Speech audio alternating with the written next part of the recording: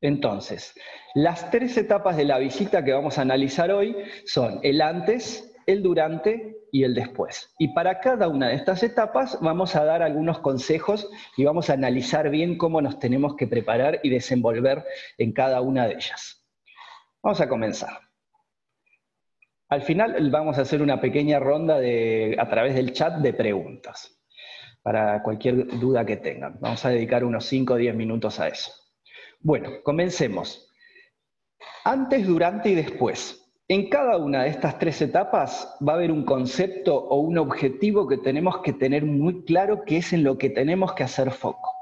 El objetivo que tenemos que tener en claro en el antes va a ser lograr el engagement. El engagement es lograr que el médico se acople a esta experiencia, la acepte esta experiencia, pero además se comprometa con la experiencia. Entonces, veamos qué tipo de consejos podemos tener en mente para lograr ese engagement. Primero, antes de empezar, preparen bien su espacio de trabajo. ¿Esto qué quiere decir? estén en un lugar cómodo, tienen que estar serenos y seguros, tienen que tener sus herramientas listas y a mano, si van a trabajar con el teléfono, si van a trabajar con una computadora, estén en un lugar donde estén todos los dispositivos a mano, donde ustedes estén sentados de una manera cómoda, tienen que estar relajados y si en algún momento usan algún canal de comunicación que utilice la cámara, por ejemplo, fíjense que salgan bien, o sea, no tengan luz de fondo que los oscurezca. Eh, si quieren, se pueden poner una luz o un velador de costado para que los, los haga parecer un poquito más lindos. Yo, por ejemplo, ahora acá estoy con esta lámpara que les voy a mostrar acá. ¿Ven? Que sirve para iluminarte y salir un poquito más lindo y joven. Entonces, esto lo pueden comprar por Mercado Libre, vale muy poco dinero. Pero si no tienen un velador, una luz de su, casa, la pueden usar también. Y lo último que es muy importante, tienen que anular las fuentes de sonido molestas, eh, cierren las ventanas, no tengan el televisor de fondo, y si tienen niños, traten de encerrarlos, para que no molesten. Bueno, entonces, otro consejo, este es un consejo muy importante y tiene que ver con eh, un, enfoque, que esta es una técnica que viene del mundo del teatro y que les va a servir mucho una vez que la asimilan y tiene que ver con un estado mental. Cuando uno hace algo diferente o algo nuevo, suele eh, asustarse. Entonces, uno entra en un estado que no es el cotidiano cuando hace estas actividades y se suele poner nervioso. Hay que saber diferenciar un estado de nervios de un estado de nervio. ¿Qué quiere decir esto? Yo no tengo que, si estoy nervioso, buscar calmarme. Lo que sí tengo que tratar de lograr es hacer foco, reconocer cierto estado de tensión que es parte de lo que voy a hacer. Mi cuerpo necesita no estar en un estado cotidiano para llevar adelante lo que voy a hacer.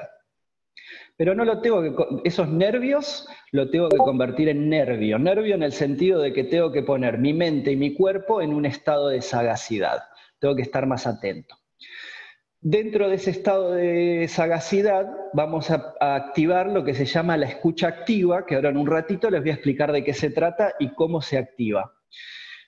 Una forma de también bajar los nervios a un estado de nervio es hacer un repaso rápido por el paso a paso de lo que voy a hacer con el médico para poder empoderarme del script o del guion de lo que va a ocurrir. Tenemos que tener muy en claro que todo lo que va a suceder a través de este evento de visita virtual está bajo mi control, porque yo lo estoy motivando el acto y yo voy a guiar al médico a través de todo ese proceso.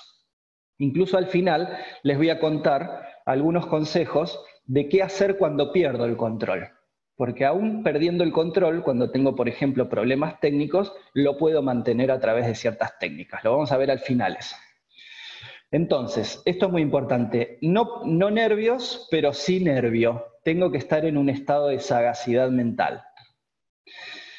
Es muy importante entonces al inicio pedir permiso para iniciar la visita. En, como hablamos, esto eh, ocurre dentro de un espacio que es personal, entonces no deberíamos insistir con aquellos médicos que no quieran. Eh, recuerden que el médico está en un estado de estrés también propio de lo que está ocurriendo con la cuarentena y demás, y además está cruzado por demandas propias laborales y personales que ocurren en su hogar, todas en simultáneo. Entonces, ante la mínima duda, antes que insistir, es preferible reagendar rápidamente. No tenemos que darle al médico la sensación de invasión. Otro tema muy importante para el antes o durante el inicio de la visita es el siguiente. Hay que plantear un horizonte temporal claro. Lo primero que le tengo que decir al médico si acepta la visita es que sepa cuánto va a durar esta actividad. Es lo primero, tengo que decirle, bueno, hoy doctor le voy a quitar siete minutos de su tiempo para hablarle de tal tema. El engagement de los médicos aumenta mucho cuando el horizonte temporal está claro y planteado desde el inicio cuando él sabe cuánto tiempo va a sacrificar. Sobre todo si esta es la primera visita virtual que va a recibir, recordemos que cuando uno está ante una situación nueva que desconoce y no sabe cuánto va a durar, puede tener reticencia en cuanto a participar o no participar. Entonces, lo primero tiene que ser plantear este horizonte temporal claro. Otro tema importante y que eh, sobre todo si estoy con un médico nuevo, que no es un médico de los que yo antes le eh, hacía mm, la, visita presencial, sino que de repente son médicos nuevos que estoy buscando, es que tengo que eh, deducir rápidamente cuál va a ser el mejor tono de la comunicación.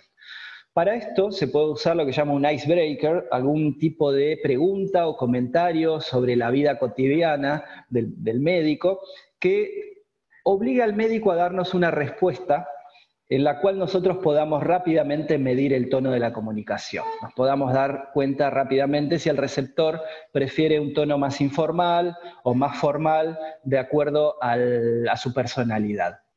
¿Para qué sirve tener un buen tono durante la comunicación? Bueno, para que el médico no se aburra. Si nosotros alineamos rápidamente con el, tono del receptor, eh, la comunicación va a ser más fluida y va a ser más entretenida para el receptor.